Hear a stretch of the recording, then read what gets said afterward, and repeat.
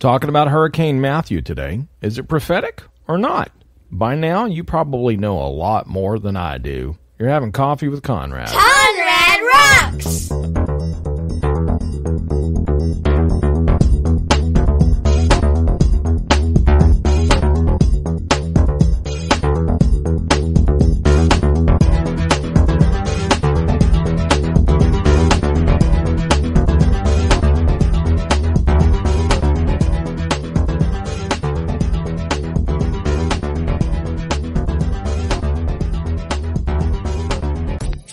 Welcome, welcome, welcome to another edition of Coffee with Conrad. This is Conrad from ConradRocks.net. Rocks of revelation being poured out. My passion is for people just like you to develop a spiritual relationship with the biblical Jesus. Today, we're going to be talking about either a bunch of hype or maybe it's something prophetic. By the time you hear this podcast, you're going to be in a much better position to judge because I'm in your past. I'm recording this podcast on a beautiful, sunny day in South Coast, Mississippi on October 6th, the year of our Lord 2016. I'm looking out my window right now, and it's a beautiful day. It's got a nice blue sky. I really can't wait to get this podcast over with so I can go outside and enjoy it. Just kidding. I love doing the podcast. And at the time I'm doing this podcast, there's this ominous Hurricane Matthew heading towards the East Coast. Now, many people are on the internet. They're jumping on the bandwagon that this is somehow a prophetic symbol of God's warning to the church in America. Now, like I said, when you hear this podcast, you're going to be in a much better position to judge because I'm recording this on October 6th. Susan showed me how Hurricane Matthew looked like a skull. If you remember, there were pictures all over the internet. This weatherman was talking about uh, how Hurricane Matthew was going to hit Haiti, and people kept noticing that you could see a skull. It had an eyeball, it had teeth, and it was really kind of scary looking. And this picture became viral very quickly over the internet. And this fueled this possible prophetic thing of Matthew. You know, Hurricane Matthew, it's named Matthew, right? As you know, Matthew is one of the four gospels included in the Bible. And people are taking particular note that this Hurricane Matthew is supposed to hit landfall on October 7th, which for me is tomorrow. They're focusing very highly on Matthew chapter 10, verse 7, because that would be October 7th. So it's kind of like they're saying the Lord is saying Matthew chapter 10, verse 7. He's thundering from the heavens. And that verse is as you go, preach, saying, The kingdom of heaven is at hand. So, by the time you hear this, you'll probably know whether this is a prophetic utterance or uh, people are just trying to get more traffic to their websites. I find it quite interesting that this storm is coming on October 7th and that people are highlighting this scripture, which seems to be largely ignored but if you read the entire passage, I'm going to read it in context for you in a minute. You can see that people all over the world are finally taken to the streets and actually doing this passage. You know how Jesus says to make disciples, teaching them to observe whatsoever I've told you in Matthew 28. There's a movie, and I'm going to include the link to it. If you haven't seen it already, it's called The Last Reformation. And you're going to see that people all over the world are taking to the public marketplace and they're praying for people right now. And people are getting healed all over the world right now. They're getting baptized by the hundreds sometimes. And it's almost like the book of Acts is happening now, but this time we have cameras.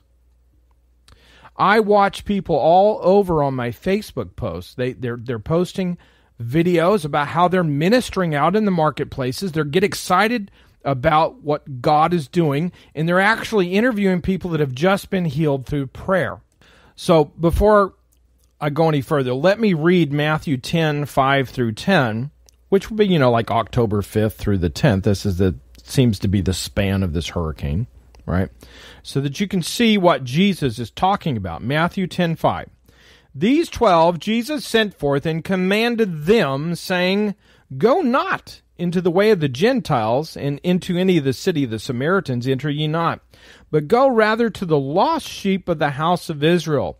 And as you go, preach, saying, The kingdom of heaven is at hand. Heal the sick, cleanse the lepers, raise the dead, cast out devils. Freely you have received, freely give. Provide neither gold nor silver nor brass in your purses, nor scrip for your journey neither two coats, neither shoes, nor yet staves, for the workman is worthy of his meat. So Jesus at this time was telling the disciples to go to the covenant people, you know, the lost sheep of the house of Israel. That's kind of what Susan and I do when we go out praying for people. We're praying for people. A lot of them are just they're not on their they're not activating in the destiny that the Lord has them and we're praying to get them activated to act like the book of Acts. Now, preaching denotes something done in the public marketplace. It's not something a lot of people think it's supposed to be done in a, in a building, but it's something that we do in the public marketplace, heralding a message. It means to herald a message of the gospel. The kingdom of heaven is near in the public marketplace. They've heard it 50,000 times in the building, right? we need to take it out to the people.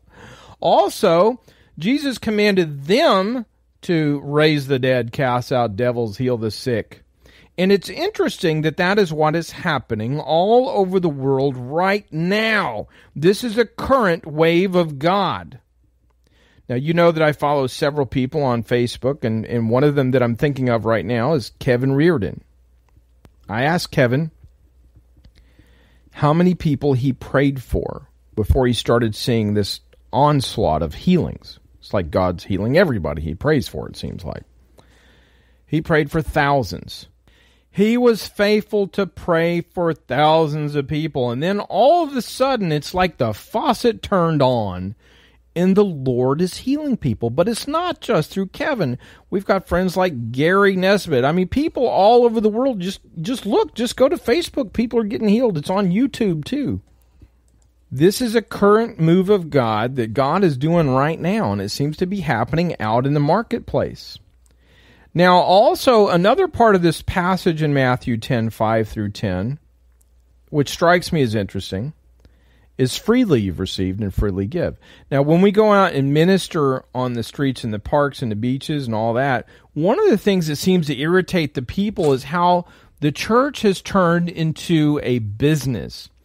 And before I did this podcast, I was dreaming about how the church has turned into a business got to keep a building open, pay some salaries. But this model that Jesus has laid before us doesn't provide for that. It doesn't say go build buildings and put people on salary. He says freely you've received, freely give. And then also, this matter that Jesus sends the people out without money, they said, don't take any gold. Don't take any silver. Don't even take brass. He tells them not to take extra coats or shoes. Man, I'm telling you right here, that Habakkuk passage, which is quoted later in the New Testament, the just shall live by faith, starts taking on a meaning with these guys. They went to the city and they worked the field, and people were so moved that they would take care of them. In other words, they were supposed to do the ministry first and then the people there in those cities would take care of him. That reminds me of the passage where Jesus says they, they were saying, "Oh, he doesn't have any bread." He says, Jesus says something awesome here. They said, "Wow, he doesn't have any bread, you know." And Master, eat. And he said to you, he said to them, "I have meat to eat that you know not of." And the disciples in 433 they said, "Hath any man brought him anything to eat?" And Jesus says in Matthew 4:34, "Now listen to this." My meat is to do the will of him that sent me and to finish his work. And then he goes on to talk about this. Say not that there's four months and then comes the harvest. Behold, I say unto you, lift up your eyes and look on the fields, for they are white already to harvest. And he that reapeth receives wages and gathers fruit unto life eternal, that both he and he that soweth and reapeth may rejoice together. Amen. And then he talks about work in the field. Herein is that true saying true one soweth and another reapeth. Amen. And he goes on a little further I sent you to reap that whereon you bestowed no labor. Other men labored, and ye were entered into their labors. So Jesus is, you know, reiterating a spiritual precept that if we just go out and work the field, our needs are met, man. Like the sparrows, like, you know, take no thought for the morrow what you shall eat, drink, or wear, and all that stuff. God's going to take care of us. Just work the field. And that's happening right now. Now, I have no idea whether this hurricane is a prophetic symbol. And I do know that it's highlighting people paying attention to Matthew 10 5 through 10. It emphasizes going into the cities and preaching the gospel in the public marketplace. We need to change the mindset right now. Drop our divisions, drop our denominational differences, and go out and invade the world. Everybody thinks that pushing a button is going to solve the problem that America has. That's not going to happen. We need to get off the couch and go out in the marketplace, heal the sick, raise the dead, cast out demons, and preach the word of God that the kingdom of heaven is at hand. I don't know if this hurricane is prophetic at all, but it is highlighting this scripture. It emphasizes that we're not supposed to worry about money. God is going to take care of us if we work the field. Do you have faith, brothers and sisters? Do you have faith? So by the time you actually hear this podcast, you're going to know a lot more about Hurricane Matthew. You're going to know a lot more. I'm talking about it on October 6th. One thing I know is our Facebook friends in Haiti had no problems at all. Many people were praying for them, and they reported well. Praise God. Another thing that strikes my mind right now Lance Rowe had made a post. He's a friend of mine on Facebook, and he was pointing about how, out how people will take any opportunity they can to make money, even off the biblical precept, even off biblical prophecy. I mean, just kind of back up for a second, step away from the storm, and go, you know, there's been a lot of books that have been sold and a lot of movies that have been made about this pre tribulation escapism flyaway rapture. Many people are wanting to fly away and escape all the problems as they, as they live sinfully in the world, right? And they pay money to people to tell them that. You know, they heap themselves up teachers telling them what they want to hear. But if we read the Bible for ourselves, we end up posting Facebook posts, kind of like Lance Rowe did. There's been a lot of books sold on the blood moons and the Shemitah. And did these disastrous events happen that they predicted? So just because a lot of people are selling books and using scriptures and making YouTube videos and jumping up and down like Chicken Little, it doesn't necessarily mean that God is saying that. Amen? And if you step back and you kind of look at the track record, you can go, you know what? They've been doing this for quite some time. How about the Y2K? Remember the Y2K thing? The whole bunch of Christians were jumping up and down saying we're we need to run to the hills and they're selling the disastrous uh, relief food and all that stuff and now since nothing happened all the prophecies are yanked down from the websites and you may you may be able to find some Y2K books for free or maybe on 99 cents on the internet but basically that was a dud right a lot of people made some money out of that. And along with the blood moons and the Shemitah, you'll see that people are kind of like they have those commercials for the disastrous relief, you know, to get them through the seven years of the tribulation that the Antichrist is supposed to come. And I'm not saying that none of this is false. I'm just saying, I'm just saying, look, they're trying to profit off of fear, right? Um, so the same people saying, well, we're going to escape out of this but here's this disastrous relief just in case we're wrong. you know, so I mean, think about it. It's kind of like a double loaded message. Is that faith at all? You know, guys, I'm into the prophetic. I love prophetic words from the Lord. I'm not discounting the prophetic gift at all. I still believe God speaks to his people. And I'm going to tell you the the message that the Lord spoke, we're coming up on the 20 year anniversary. God split the pulpit in two in October of 1996 at Christian Tabernacle with a very clear prophetic message from the Lord about Second Chronicles 7:14 and nobody's paying attention to it. People have forgotten about what God's actually saying. Amen. And they're paying attention to the shiny stuff. The pre-tribulation rapture escapism mentality. I'm not even going to be here.